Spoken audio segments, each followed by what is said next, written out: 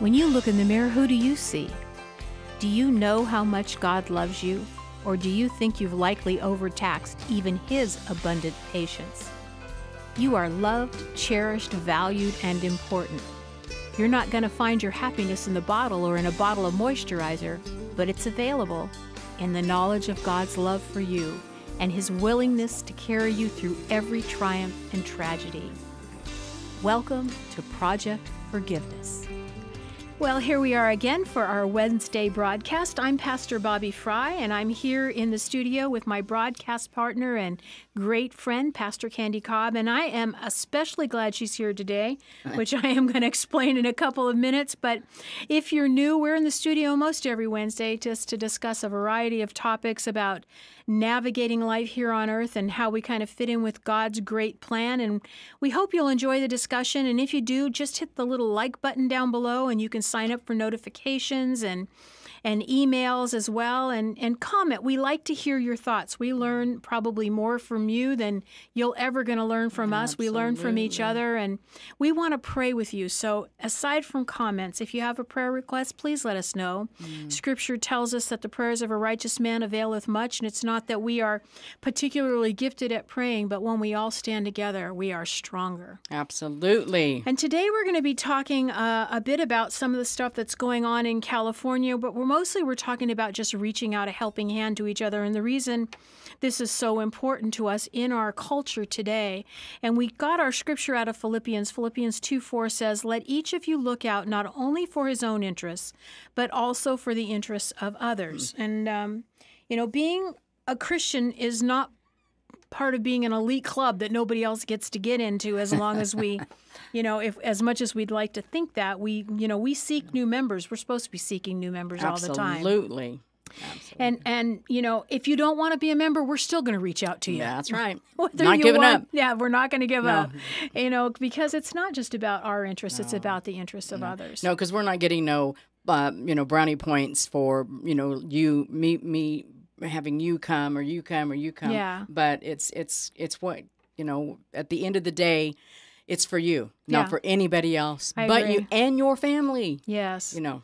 Some people think it's about, you know, they, they get mixed up, like you said. They think it's about brownie points or they think it's about, um, you know, well, listen, I got 35 souls this month on my little chart. Yes. God is going to have to take notice of that. Yes. It's not about that. Oh, it's not about hitting somebody over the head with every scripture you've ever learned and, No. you know, like knocking them into submission or into uh, fellowship with Christ. That's not what it's about at all. So it reminds me of the scripture about you know going after the you know going after the one, leaving the ninety nine, Leaving going, the 91, the story, yeah, the, the, one. the- yeah, the parable that Yes. that we're told in the Bible, where Yeah. where where the shepherd goes after the the the one that's lost, and and Right. he'll let the ninety nine healthy ones stand. And a lot of people think that that's not fair, but really, Mm. it's it's the way we are designed to be. But uh, you know, I I think it's.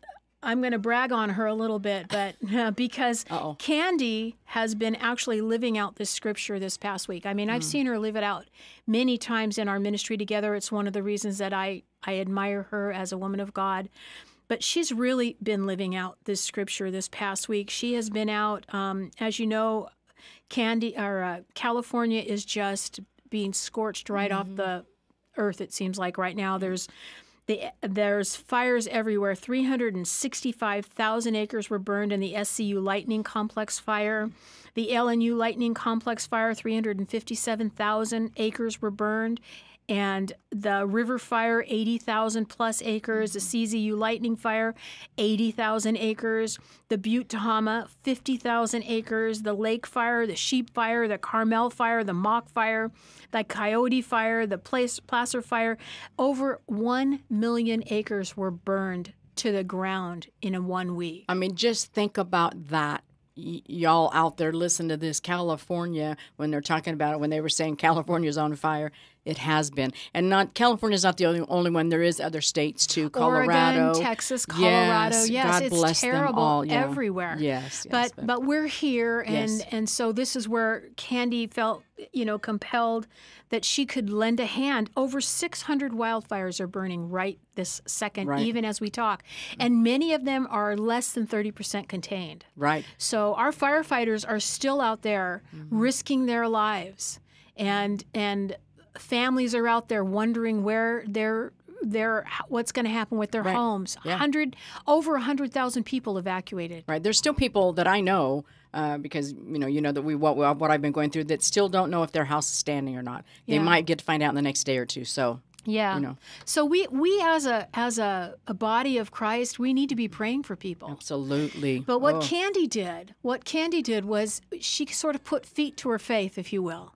And she literally took her truck and went out because she because she's a, a cowgirl at heart and has, you know, had horses her whole life, she knew she God laid it on her heart that there was a a need out there, that not mm-hmm. only were people being displaced, but if any one of you have had an animal, you know how it feels to you know not only are they being displaced but they wonder what are we going to do? Are their livestock oh, not just small stock but large stock animals yes, horses mm-hmm. bulls mm-hmm. cows. And so what she did was she went out and organized a group of people to start Well, getting those animals out I didn't organize them. There was already you know going, but helped. Yes, but yes, she helped. She bought she she did her part is what i guess what i'm saying.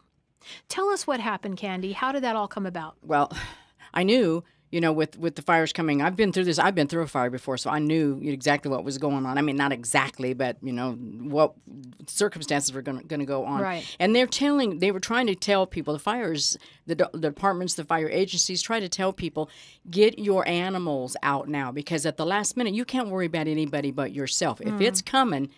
Firestorms can happen so fast. We know that from Redding. We know that from uh, Paradise so fast that it you know they can turn around and then they're there. They maybe look like they're gone but they're come they could come back like Right. nothing. And if you you know trying to get a kitten or i mean a cat or a dog out one thing try to get a big animal a horse out goats out sheep out steers I saw a picture where you were trying to get a steer out and he was just not having it. Oh no, and he wasn't no like little roping steer. This is a big steer with I mean like like longhorn steer. He Yeah. that. Oh, he wasn't having any part of it. Into my friend's little two horse trailer that I had. Wow. And yeah, and that that wasn't happening. That that was something. But um, I could not sit here, you know, and in all you know. Um, in my little safe house over here, you know, looking outside. I mean, you know, and we know the smoke here was horrible. So I was imagining what it was like over there. I know so many people over in that area, over in the Carmel Valley area, the Santa Cruz area, you know, the uh, Morgan Hill, Gilroy, Gilroy area, which you do too.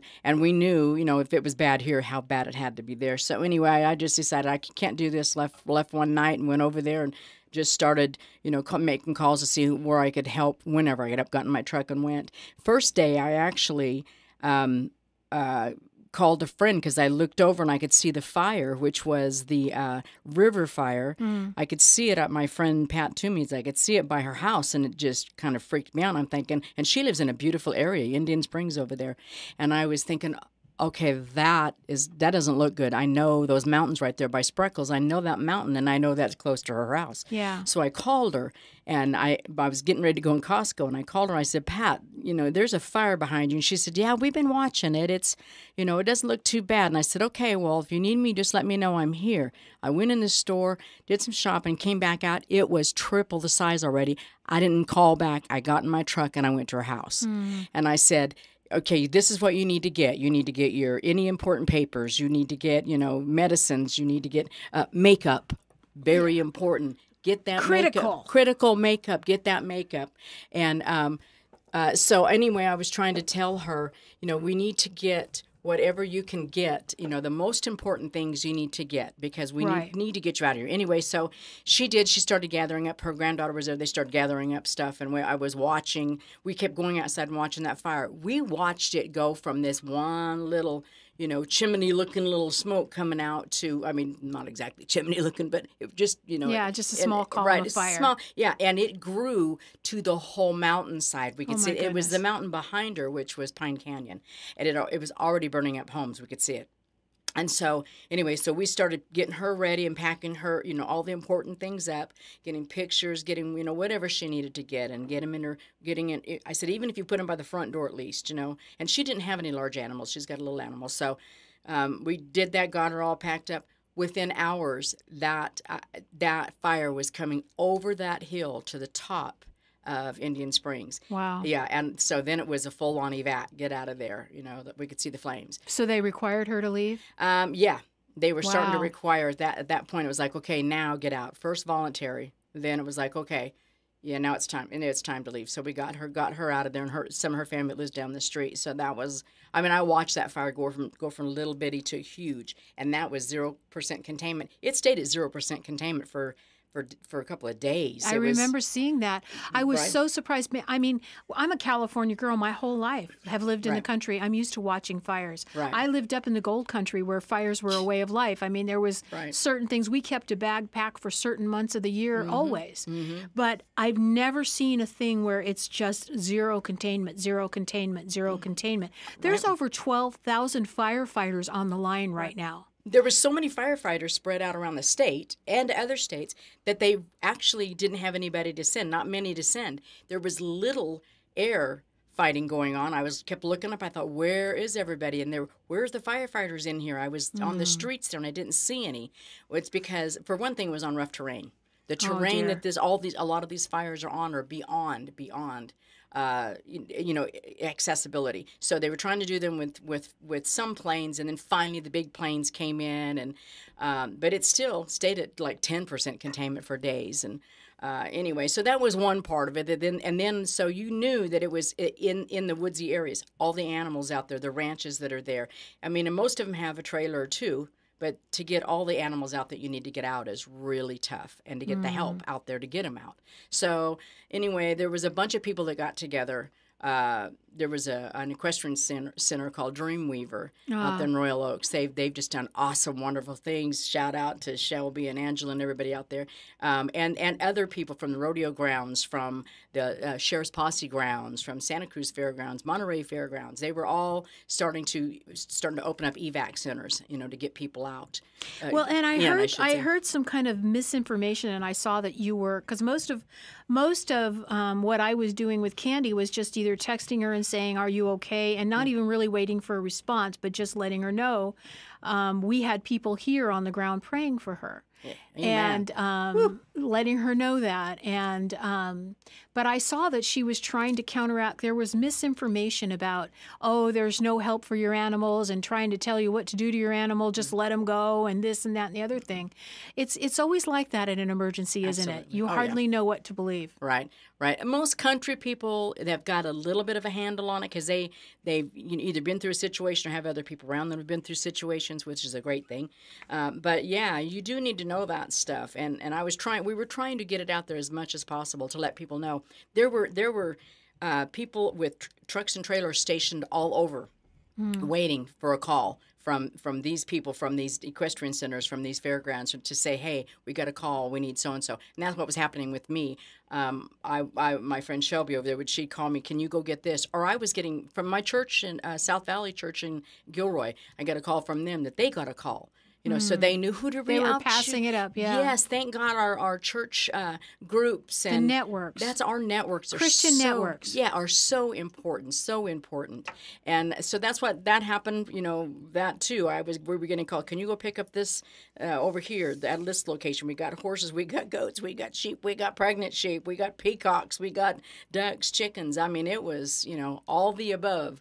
And that steer was the, probably the hardest one. And we did not get him in. Just so you know, we didn't get that steer in the trailer because he was not going. But you know what? He was in a, a safe place, so to speak, you know, out in a, a big pasture that had a lot of dirt in it. And the firefighter said, put food and water out in the middle of that and he'll be okay. So it was it was good. But thank God for all these people. You know, it's not about, um, you know, well, um, I, I, I, uh, it's it's about a need. It's a, just about a need. No matter how you look at it, this is just about a need. And this is what I'd say. What would Jesus do? Yeah, You know, exactly. you're not doing this for any accolades for anything. When there's a need that arises, what do you do? Whatever you can. Period. That's you know. it. Yeah, it's not for fame, not for recognition, not for money, not for payback, not for points, not No. to get into heaven. but rather pay it forward. Yeah, Because it could be you at any time. yeah. You know, it could be you. I've had people help me out of situations that, you know, I was just uh, above and beyond, you know, honored and humbled by somebody helping me through situations, especially when you don't even ask. Me You know? too. Yeah. So this is really important time. I think God is letting everybody know, you know, things could happen, and you need to pull together. Mm-hmm. The mo- the main thing is everybody needs to to step up and step out. Because that's what Jesus would do. Not respect, not re- expecting. He's no respecter of persons. No, yeah. no matter I what, just did a grace note, and in the grace notes, I said, you know, it's not an elite club.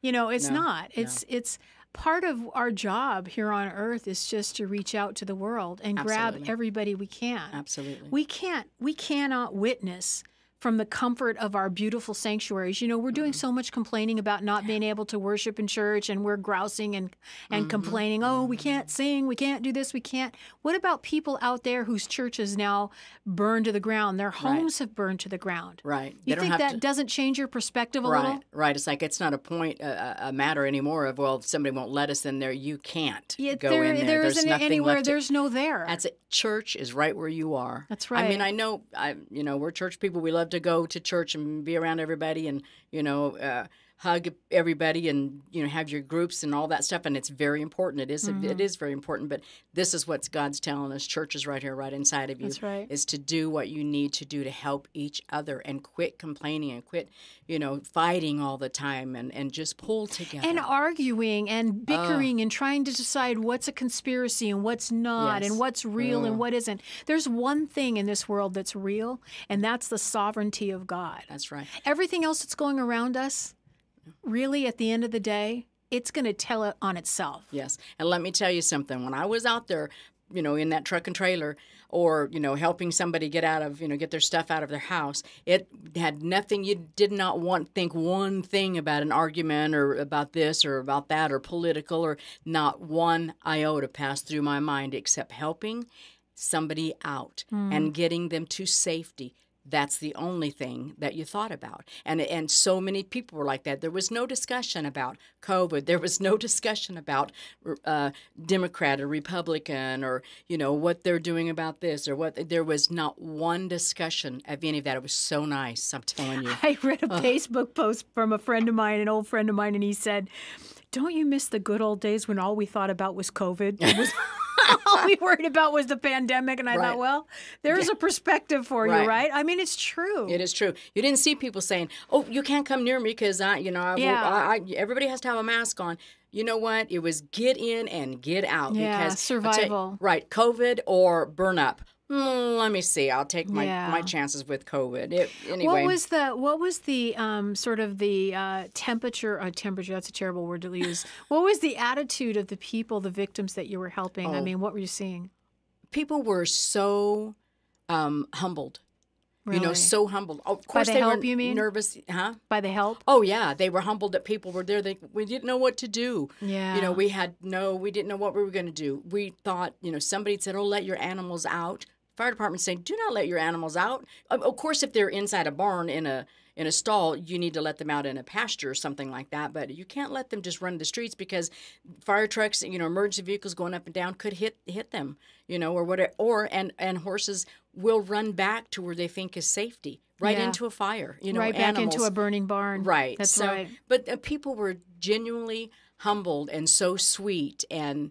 Uh, it, and and people opening up their homes. We also took took animals to other places, not just these, uh, you know, equestrian centers or or fairgrounds or whatever. We took them to, to other people's homes to Yeah. safety, and you could just see people were opening. I, I had people calling or getting a hold of me that I knew from church or that I knew from you know friendship from years ago.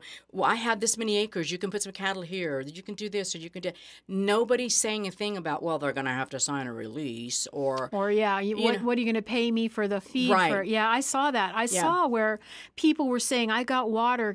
Who do we bring it to? My company wants to donate a case, a couple of cases, three, Right. four, five cases of water, or or this feed or that feed." Right. And you know, uh, I'm telling you, this is how revival is going to start in this country. Satan thinks he's got a hold of us by putting us under the gun with COVID 19 and politics and infighting and Republican versus Democrat and red versus blue and Yes. all of this other Yeah. stuff. But at the end of the day, Mm. Christians can insist on revival by acting in this way with each other. And let me tell you something that sets an example for other people that don't, you know, aren't exactly walking following. You know, that doesn't mean you have to sit and, you know, say 50,000 Hail Marys a day. We're not saying that. You know, it's just just believing in God and what would Jesus do. Mm-hmm. Think about that. Just think about that, if nothing else. That's right. Because the examples that other people are setting, and some of these people that I know that were right out there, they, they don't go to church, they don't do nothing. That has nothing to do with it. Wh- which church do you go to? I didn't hear that one time. Yeah. It was, you know, there. I know these people. I know a lot of these people, and they have good hearts, and it's about your heart, and that's what Jesus sees. That's what God sees as your heart. And that's exactly how Jesus ministered Mm-hmm. on earth. He, you know, there's a reason why God didn't send him to a royal family. He sent them to an everyday, run of the mill, low class, a carpenter, a good family, but he was just flesh and blood. He was not sent where he was going to live some privileged life. Gosh, love you. Yeah, Because mm. because God's love is for everybody, absolutely. irregardless of your position in life. I mean, think about it. Jesus hung out with murderers, uh, You know, Prostitutes. prostitutes. I mean, you name it. Drunks. You know, I mean, everything. You know, cheaters. You know, come on. Those who were sick, lepers. he wasn't afraid to right. touch a leper. Right. So he wasn't afraid about- of covering up himself so that he didn't catch something. What does that say about COVID today? I know. I right? get it. If we, I get if it. we could just think on that. I mean, I know we got to be careful about things, you know, as you know, always. But think about that, people. When you're thinking about you, you know, that you think you're either too good for somebody else, or nah, you're not going to help them because they're a little bit of a low life, or they're this, or they're that. They're not doing their part. I'm not going to reach oh, out. think about it because I'll tell you what, Jesus might use them before he might use you or save save them. Uh, no, I don't want to say that save them before he saves you, but I mean in a situation of, of a, I meant like a fire or something like that. You'd be surprised. yeah, you, you know. he's not a respecter of persons. No. We know that No, scripture that's what I tells meant us to that. say. I, you know, and I think people we had we had before the fire, and and it may go back to this. I'm not saying it won't, but I I just want to say. As bad as the pandemic is, and I know that people are acting very angry, and here's what I mm-hmm. know about anger there is no anger that's not rooted in fear. Mm-hmm. And so Oh, I yes. understand the fear. Yeah, me too. But I think that if we can have, if we can be heroes with Mm-hmm. each other, I mean, Candie wouldn't call herself a hero, but I would call her a hero. Not at all. And all of those people out there, those 12,000 firefighters that are on the line, they're heroes. Absolutely. They're, they're, you see how weary they are. The nurses and the doctors that are, are fighting the pandemic and that are, they're heroes. the people opening up their homes People opening up their people homes, they are, heroes. The That's ones right. opening up their land, they're heroes. The people that are giving truckloads of hay, they're hero. They're not asking for anything in return. That's it. And at the end of the day, if we want to do what we're supposed to do as Christians, Hmm. that's how we behave. As Candie said, what would Jesus do? What would Jesus have done? I can see him with his shirt off and a, a pickaxe in his hand at the front line fighting that. And the Mm-hmm. whole time he's doing it, just not asking for anything in return. We have to change our thinking as Christians. Yeah, it's not just about you all the time. That's right. You know, and people, I think that's what God's trying to tell everybody right now. God didn't set these fires, but He allows things to happen. You know, Mm-hmm. allows other things to happen. I, pe- you know, you know that Bobby. How many times have we heard?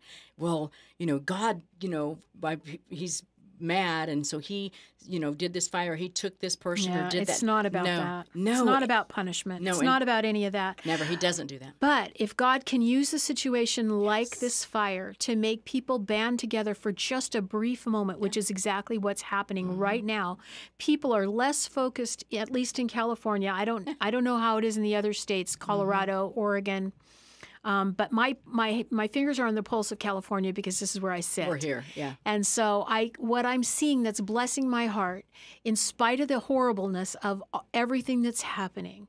It's it's a blessing to me that when I see people responding with what can I do? How can I help? What do you need? Right. Ir- irregardless of who the other person is. And that's, you know, in Matthew 25 40, we're told that it, it said, Whatsoever you do for the least of these, you do for me. Right. You know, Exactly. so whatever Candie did, whatever these other people are doing out there, they are doing to for God. And at the end of the day, that is how we're supposed to witness. Right. That's our job. Right. Look into your heart. That's exactly. If you if you uh, are are led by your heart, Mm-hmm. then you're going to be led by God because God, your heart is about. You know, obviously, we always see. You know, when, when you see a heart, what's the first thing you think of? Love. Love, yeah. Love. Always. That's our indication of love. that. There you go. So if you look at the heart right. and think in, in those terms, Right. I mean, it makes so much difference. Yeah. I, you know, um, we need to wrap this up, but I, I, I just want to say this. We're going to have some links um, as we post this on, on YouTube and Facebook and everywhere we post this broadcast. There will be links where you can either go for help or to help. And there are many good organizations out there that still need help. But if you don't go to an organization, if you don't feel called to give money or to give, you know, to go out there like Candie did physically and and help in that way, as Christians, we need to be on our knees every minute of the day. I believe that one of the reasons that I've got Candie safe back in the studio today is because of the, the prayers of, of godly people that surrounded her. That's right. And that may be the only thing that sometimes people can do. I mean, obviously, we should go there. That should be the first thing we should do, even above physically helping, monetarily helping. We, know, mm-hmm. we know that. But, you know, definitely if you if you're not able to do any of the, any of those other things too is just continue to pray That's right. Continue, to to, pray. pray. And we would ask you to do that. We want to personally thank every firefighter Oh, that's out there, yes. Mm-hmm. every first responder, their families, the people that love them, that are worried about them, worried sick about them yes right now, wondering if they're safe, wondering if they're healthy, wondering, you know, this this whole issue with the pandemic, with the fires, with everything that's going on in our country, it's going to have repercussions for years and years and years. absolutely But we want to, from Project Forgiveness to you, we want to say, we love you. We are praying for you. We believe in you. And, and- we are hoping for the best. and thank you thank, Thank you, you. thank you for all those people that were out there sitting for hours and hours and hours in in trucks and trailers went going through the fire zone i mean some of our trucks Putting themselves in danger. absolutely fire around them to help someone else. Yes, A stranger. Oh, thank you, everybody out there. Uh, Posse Grounds, Rodeo Grounds, Monterey County Fairgrounds, Santa Cruz Fairgrounds, and Dreamweaver. Thank you all so much, and all the people that gave feed, and that that gave fencing, and they gave you know uh, water buckets and whatever, and their time. Volunteers came out and we're helping just feed the animals. That's amazing. Yes. Yeah. So we want you to know, everybody out there, we want Mm-hmm. you to know we love you, we cherish you. What what is important to you is important to us. We want you to know that we are with you. We're struggling with you through this issue, through the fires, through the pandemic, all of those things. And whatever we can do to help, we want you to reach out to us as well. And as always, we want you to remember that you are not defined by your worst moment. Because God's not finished with you yet. If you're new to Project Forgiveness, we hope you'll come back often. You can go to www.projectforgiveness.com to send a prayer request, a comment, or even a suggested topic. You can also find us on Facebook, Instagram, or YouTube. Please like, comment, and subscribe. We want to know you're out there. We want you to know we love you, we care about you, and we believe that God has your very best in mind. God bless you.